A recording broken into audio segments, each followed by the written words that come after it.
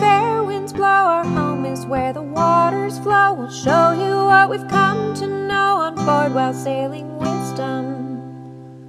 So now that we have successfully made it into Waterlemon Cay, we are going to go snorkeling because this is famed as the best snorkeling on all of St. John.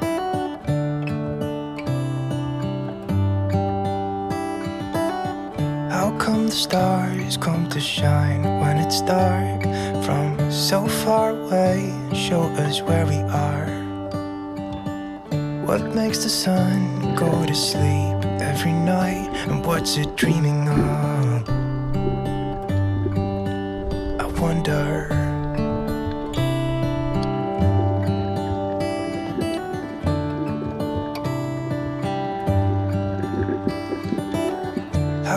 Sky sometimes hides behind the clouds? Maybe it's just like me, a little bit scared of heights.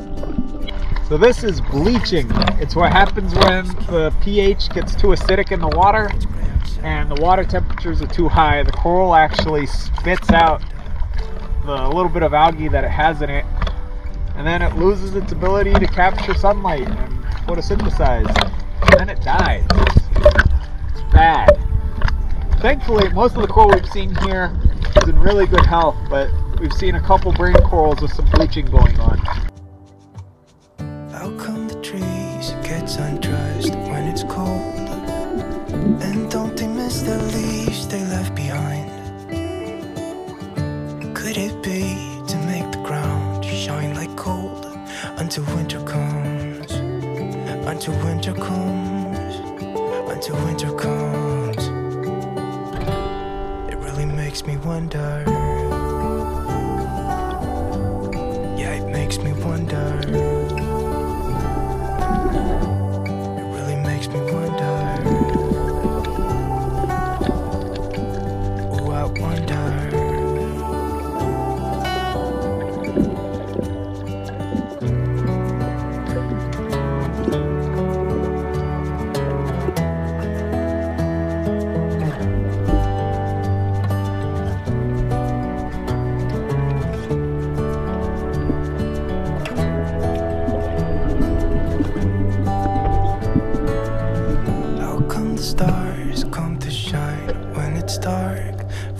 So far away and show us where we are? It really makes me wonder.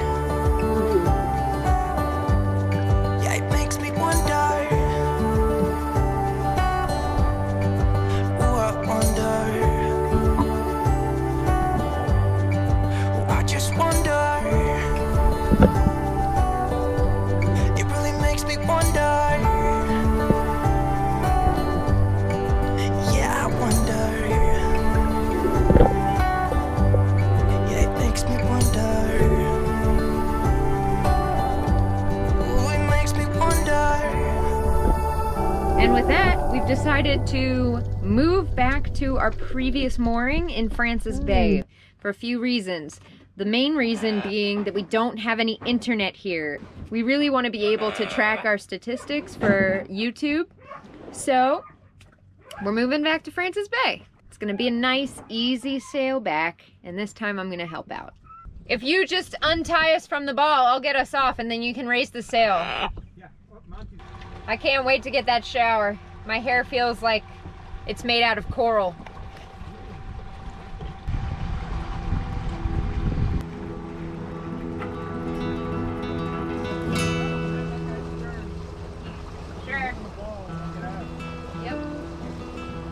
All right, so this means that we will arrive at 5.30, roughly, more or less.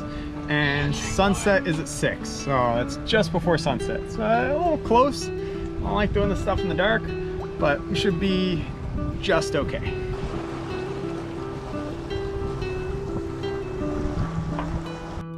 Whew. Feels very good to be showered. Well, we have 1.2 knots of current pushing us, so we're doing 4 knots to the water, actually 5.3 over ground. So we're booking it. We should get there a half hour before sunset. Charlie's fallen asleep. Yes, Charlie is adorable.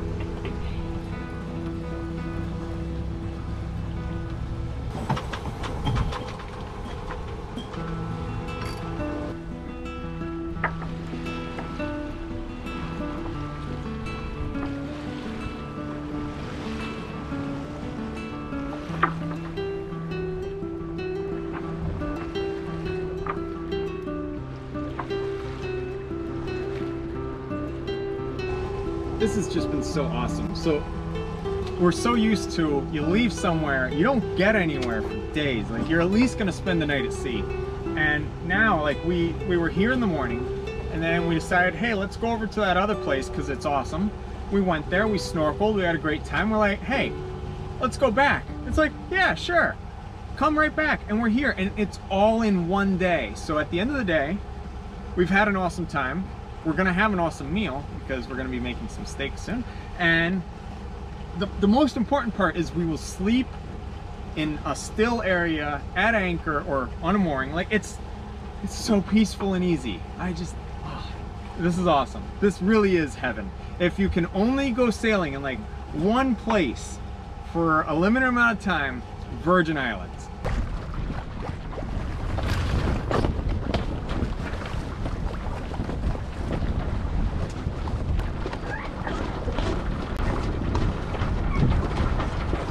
You have good internet right here? LTE. All right, we got a ball right there. Oh yeah. Try and grab it. Yay! You know those projects that you're going to do someday? Well, today is someday for me. Our motor's regen has not been working like it used to. So it was working all the way up until I switched out that one motor in Spain. And since then it hasn't worked. So my thought is maybe something with the wiring to that motor doesn't want to do regen. So I'm gonna just open up the electric motor, wiring system, jigamaroll, and just switch the wires around. Literally just invert the thing and then see if it works. I think it'll work. And the reason I'm doing this today, and that today is someday, is because tomorrow we're sailing to St. Thomas. And that's eh, about 12 miles or so. Nice downwind sail, be nice and quick. And if regen is working, we'll be making a lot of power. That is leaking. Some nice rain. So is this. Let's tighten them up. okay, so pretty much you have these dust covers that, you know, keep it all under wraps so no one can see it. And then you have a little itty bitty control thingy here, which has some wires that go to these two boxes. And then each box then has wires that run to a single motor. So this is the motor that we just replaced a couple months ago. So not really just, about 5,000 miles ago. So it's actually not so new. Anyway, this motor has wires that come from this controller. The other motor on the other side, which is under this, has wires from this controller. So I'm just gonna switch these main plug wires that are attached somehow in here, and I don't remember how because it's been a while. Oh, there we are, just a little clip. Okay, so we'll just take these main wires and run them over to this side, and then take this same plug from the other guy, and just bring it back over here. Okay, so the plug has a little ground, a little wire that runs to the ground on the Sevcon box. So I'm just gonna move this over to here, and then bring this multi-plug with its ground wire over to the other side.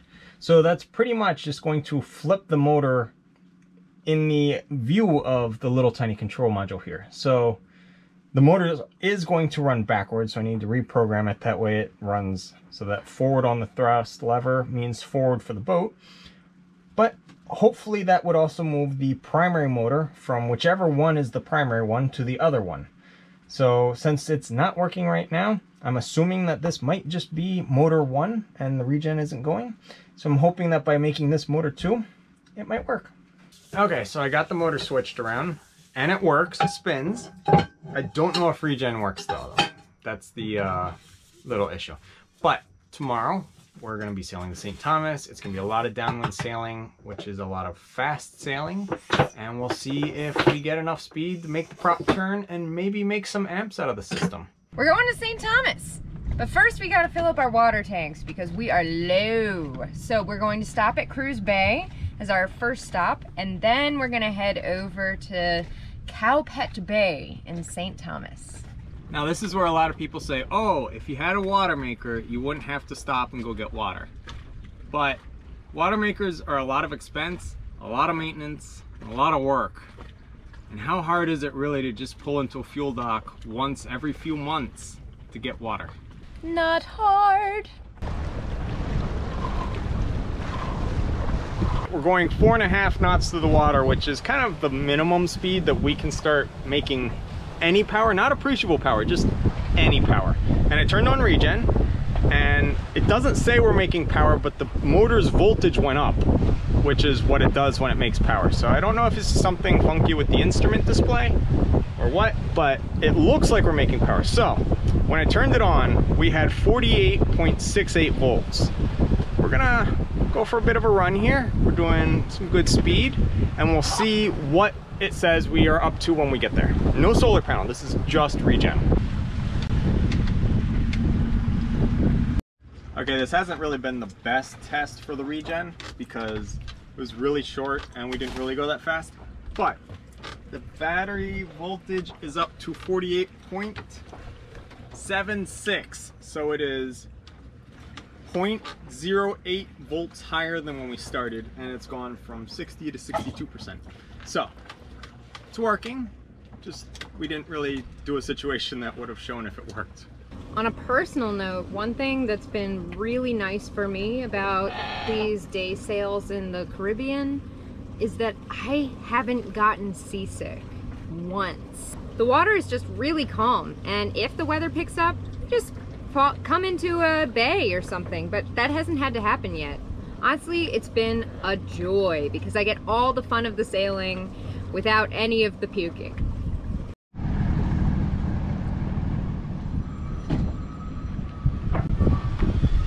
I think your phone is ringing. Do you want me to get it? Yeah.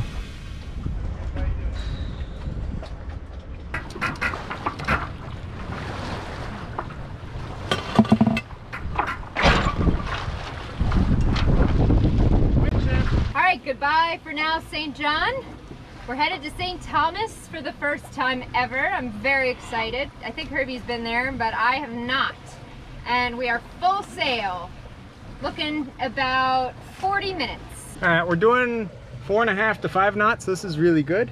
And we got the regen on, so hopefully we'll make a little bit of power on the way there. So here's the issue with regen. It sounds great, like, hey, you can make six amps, ooh, cool. That's six amps every hour. So if you're gonna sail for 10 minutes, that's no power, that's not appreciable. When you're out in the ocean and you're, you know, 24 hours a day doing those speeds and making that kind of power, then it really adds up.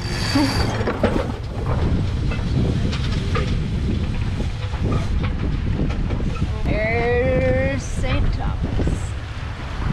As you guys know, our wind instruments have not worked in a very long time. But we just got this new wind point. He always faces the wind. It's hilarious. We jibe, we tack, whatever. He'll just like turn and face into it. So he is our new wind point. And he's brightly colored too. Back.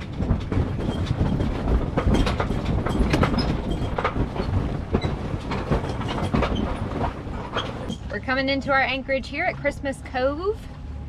Herby's up at the bow with the anchor ready and I'm just getting us as close in as possible here without being in danger of hitting any other boats. It's a very crowded anchorage. Uh, okay, drop! Whew, that was successful. We're now in Christmas Cove, anchored and happy. And now for the secret of what we keep inside our nav station.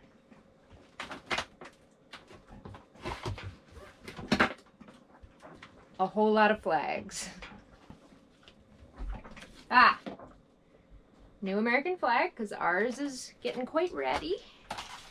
Our current U.S. flag has been about 6,000 miles. Uh, we replaced it last in Spain on Memorial Day, which was in May. So it's been a while, and it's time for a new one. So we had this baby ready and waiting.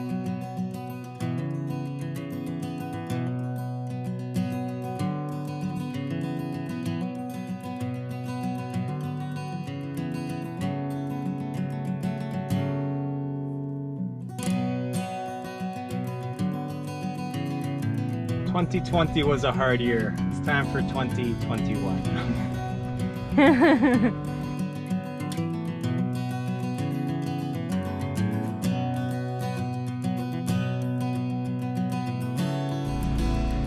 Pizza pie, pizza pie, this is wisdom. So there's a place here called Pizza Pie, like the pie symbol in math, and it is a floating sailboat pizza restaurant. You just order your pizza over the radio, and then you go pick it up.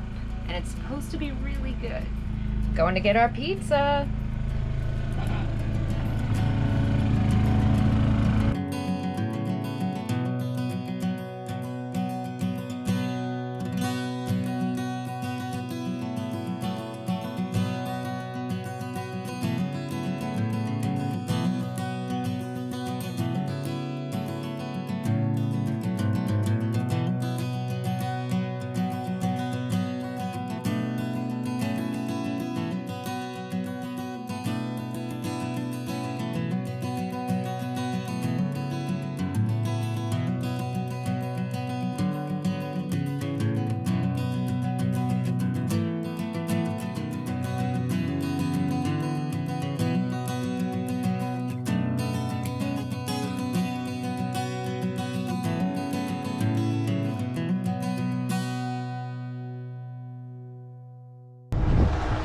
We're sailing. It's quite a blustery day.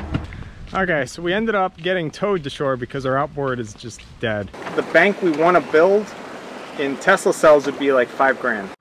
Thanks for watching this episode of Sailing Wisdom. Don't forget to like the video, share it with your friends, and hit subscribe so you don't miss the next Rigging Doctor episode.